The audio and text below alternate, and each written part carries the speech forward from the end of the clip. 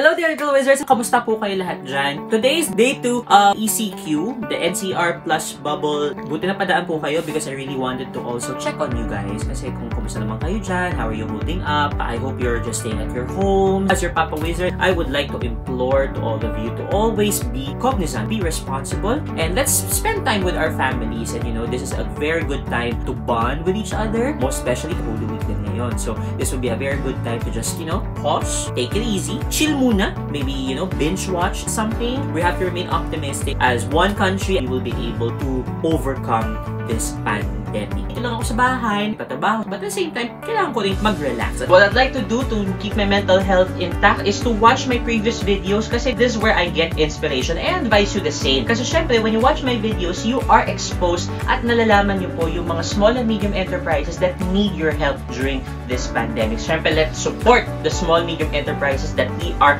promoting dito po sa Wizards TV. That's because they produce very good products, very good food, and at the same time, they can cater to you. Kasi syempre, deliver pa rin naman tayo during this pandemic. They can satisfy your cravings for whatever cravings you might have. Sample to, ang Monster Milkshake by Cherry on Top. This is the perfect example of a small medium enterprise who's taking the stand during this pandemic. When you want to be entertained, one of the best things to eat is ice cream. Kaya right now, I am here with my Smiley Pint from Monster Milkshake. Pinadala po ito ni Miss Len Minto Ramos at Sir Bernard Ramos. So maraming maraming maraming salamat po for sending this to us. They introduced to us their new flavors, yung kanilang Death by Chocolate, Crazy in Love, at ang kanilang Oreo Choco Overload. Ice cream just makes everything better. If you're having a really bad day, eat some ice cream and the world suddenly brightens up. But again, Little Wizards, ang bottom line po nito is to ensure and to call out to all of you behind that screen na let's do this all together. Hindi po optional ang maligo. Maligo po tayo everyday. Kung lalabas naman po, make sure na magdala po kayo ng alcohol, sanitizer, and observe social distancing. Ingat po lagi kayo. Please take care of your health. This has been your Papa Wizard, Mitch Marquez, always reminding you to be magical, stay safe, and always be fluffy. Cheers, Little Wizards! I'll see you around!